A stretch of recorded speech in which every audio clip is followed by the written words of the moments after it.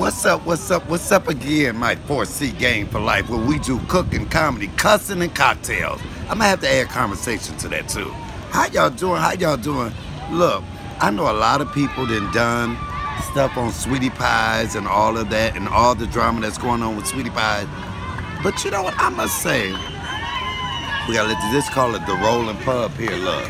You see that? You, you ride a bicycle and you drink while you're doing it. I'm gonna get on one of those one day but I ain't gonna be bicycling. Hell, I don't want to buy ride a bike any damn way. But anyway, y'all, I just wanted to touch on it. Everybody else didn't touch on it. I did one little thing about it.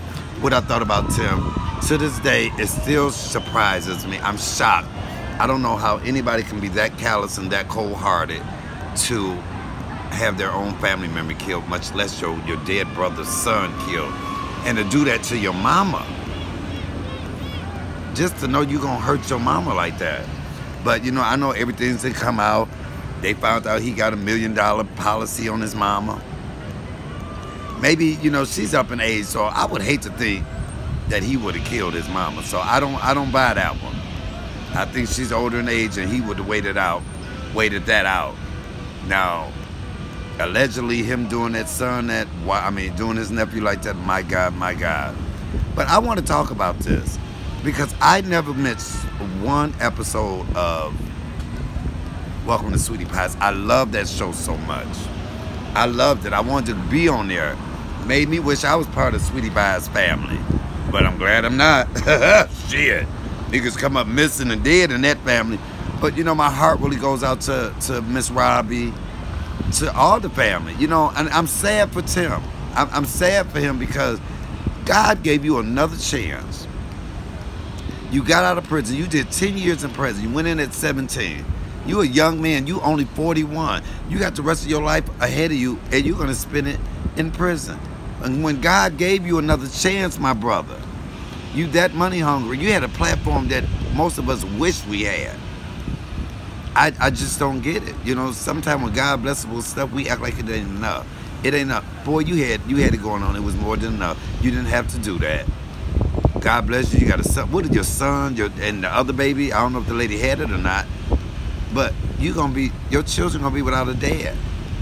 You know, and I let me tell y'all the reason I even come on here and want to say more because I went back and started watching more. I mean, rewatching episodes. And one of the episodes I watched, you know, I don't know how to put all the videos in here. I would just talk about it. When him and Andre was in, going to the restaurant supply place and he said, I just don't want Andre to end up like us. And I want to um, make sure he's on the right path. No, nigga, you you you killed him. And then, and when I look back at the episodes now, it lets me know how sinister and calculated and, and, and psychopath he is. Then I looked at the one episode, the pictures up there, Miss Robbie house. That was four years ago. Miss Robbie's house was broken into. And if y'all go back and look at that episode, I don't even know how to put the link in there, but all you got to put in there is Miss Robbie House gets robbed. When she walked in there, she said, somebody that knows me and knew I was out of town broke into my house.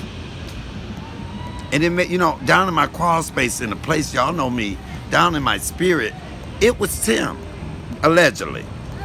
I just think it was Tim because you knew your your mother was out of town. Why wouldn't you check on your mama's house? Why weren't you there with her?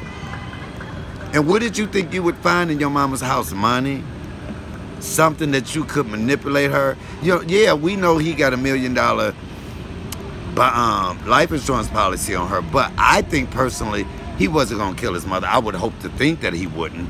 I you know, she's up in age. I think that he knew she probably ain't got that much longer on earth. So I, you know, wait it out. Wait it out. But you know, but I look at the uh, old episode and I see, I really think it was Tim that broke in her house, trying to razzle, frazzle her and her nerves, which he did. Why weren't you there? Because if somebody broke in my mama's house, my auntie wouldn't have to get there, baby. Because as soon as my mama called and told me, I would have been the first one there. I don't care if I was out of town or anything. Ain't no money that important to me. But I want to ask you this, Timmy. Would you kill your own son? Would you kill little TJ? Now, he, him, and the other baby you got, if she's already had him or not, They're without a daddy. God gave you another chance. You went to jail at 17, my nigga, and spent 10 years in there, which means you got out at 27. Gave you a platform that most of us wish we had. You had it going on. You could have regrouped and re, re, rebranded yourself. But no, you, you want that quick stuff.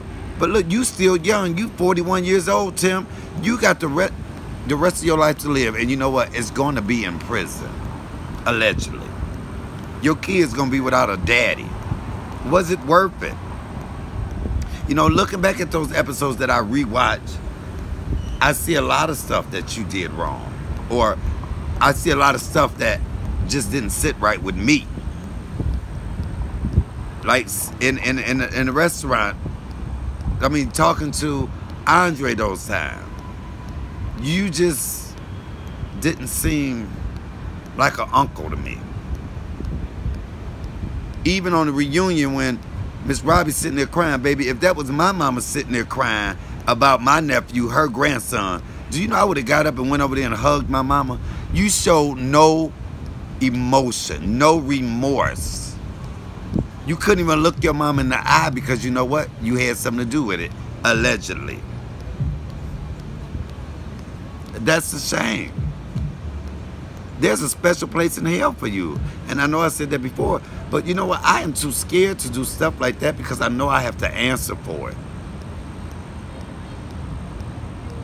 Did you get that prison mentality? You know what? You take a 17-year-old boy and you put him in prison. They learn all the, the little sneaky shit to do, and he had that mentality. That's what I see. Because I don't know any man that just want to kill a, kill a family or, or and all that, and all this about life insurance. And the, and the silly part about it, my nigga, you never even got a dime. Now you don't have you don't have your nephew here anymore. You don't have your freedom.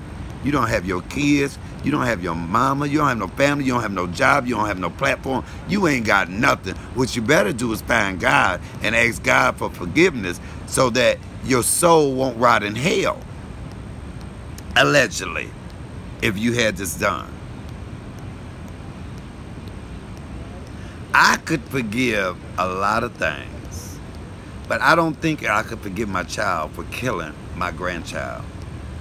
I, I seen somewhere where they, they should Miss Robbie support Tim.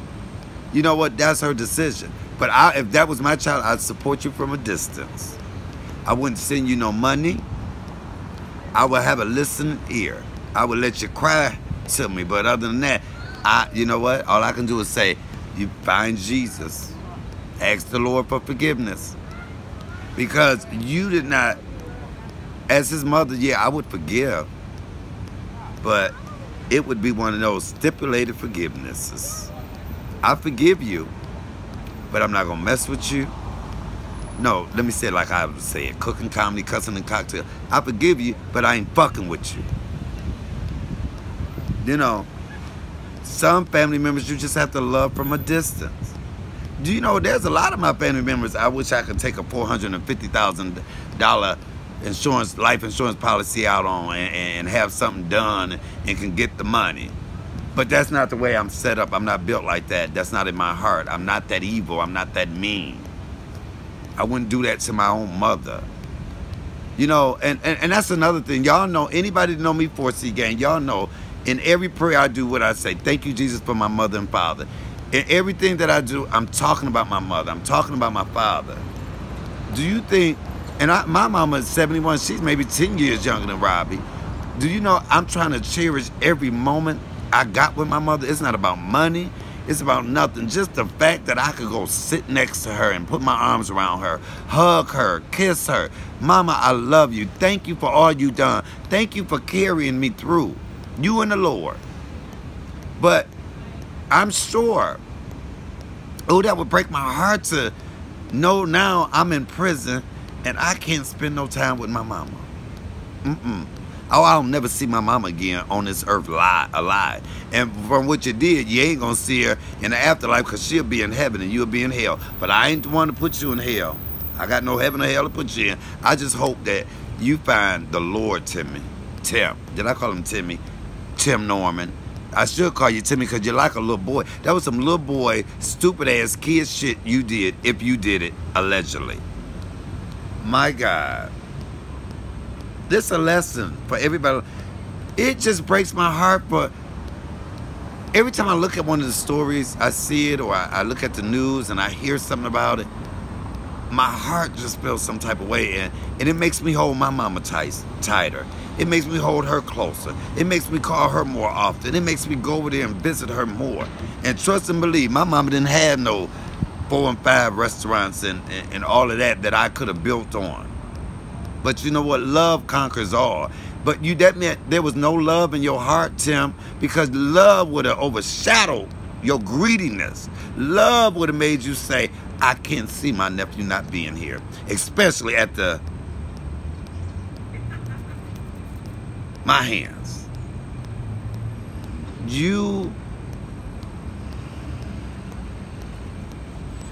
and, and, and I was rooting for you, Tim. When you was opening up all them restaurants, I was hoping you succeeded. I, I was hoping you took your mama to the next level. When you opened up Soho, and, and, and, then you opened up another and you got the patio when she didn't want you to, and you had the lady, the, the, the accountant write you a check and you didn't tell your mama about it. I thought it was wrong. I said, but he know what he doing. He love his mama. And I'm sure when you was in prison, Miss Robbie took care of you and you didn't want for nothing. But you know what, Miss Robbie? Sweetie Pie, this time don't send him a dime. Let him rot. Oh, write him letters, talk to him. Don't send him a dime. Let him rot. Let him have to get down on his knees and give some people head. Let him have to give up some of that them big hips and that big butt to get him extra stuff. Don't he got three hots in a cot. He been he already know. He messed up that chance. Let him be somebody's bitch. Let him have to pay for his sins. Oh, we ain't the one to to to judge. We not judge and jury, but something in the milk ain't clean. The the FBI ain't gonna just bring you in. You know they got to have a lot of evidence in order to bring you in. You and a little stripper heifer, a little stripper hoe. I'm not saying all whole stripper. I'm just saying a whole wish. I can't believe it. I you know man, you had the, the world at your fingertips. You had stuff given to you. Your mother built a dynasty for you that you could have. Your mama's 80 something years old. You couldn't wait 15, 20 years. She wasn't going to be here forever. And if you had been right, you were that scared that she wouldn't leave you nothing. So you took out your competition.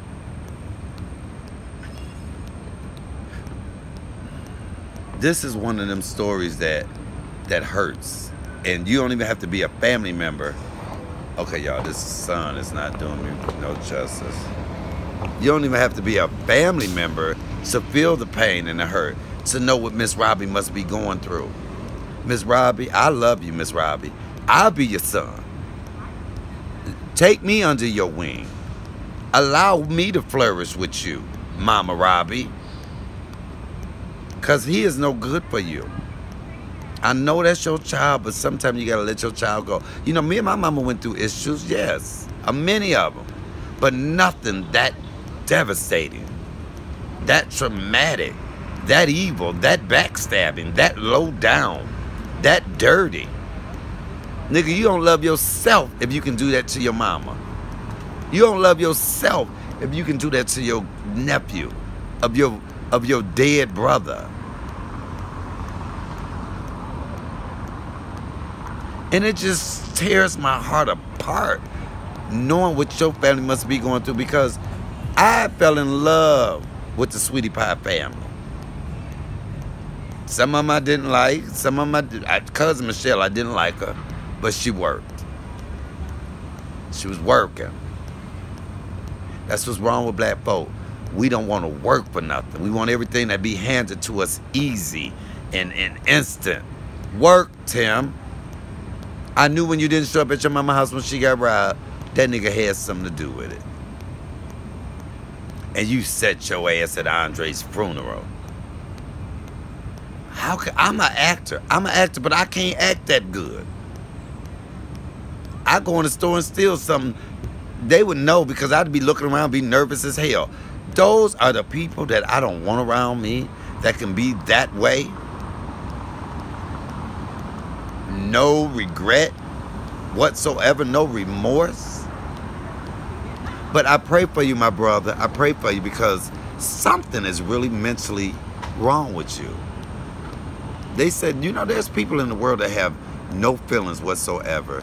Don't think about the consequences of their actions, who it's going to hurt, how long is it going. Your mama could have died and had a heart attack from that mess. And it makes me look at everything you've ever done differently now. I look at all of your actions. I have went through there and watched every Sweetie Pie's episode. And each one, I'd be like, uh-huh, oh, okay, there's a sign. Oh, yeah, he did it, allegedly. So I pray for you. Because that's the God in me. I don't want to, oh, people are like, he should get the death penalty and all that. You know what? Let justice take its course.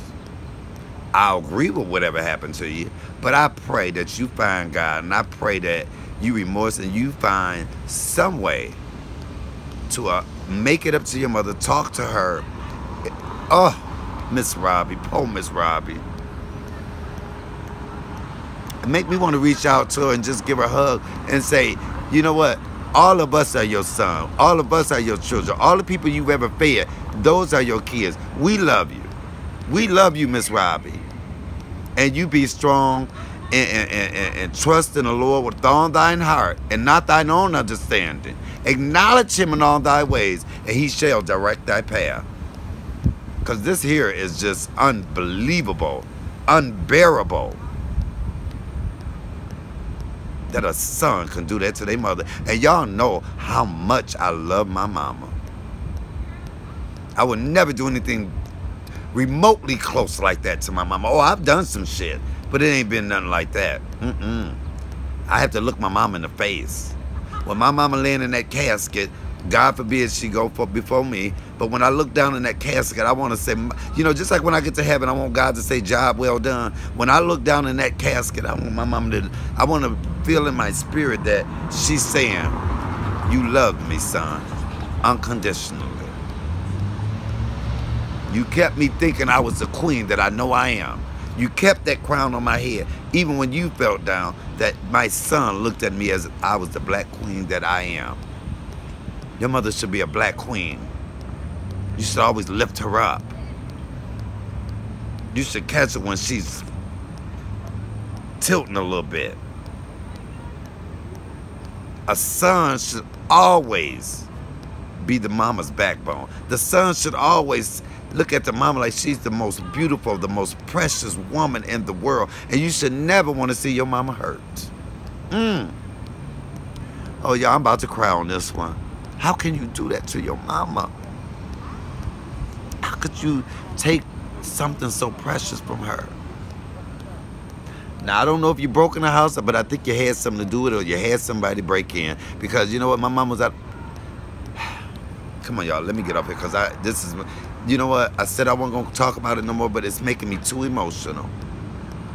I want to write it. You know what? I wish I can find his address and write that motherfucker a letter and cuss that son of a bitch out.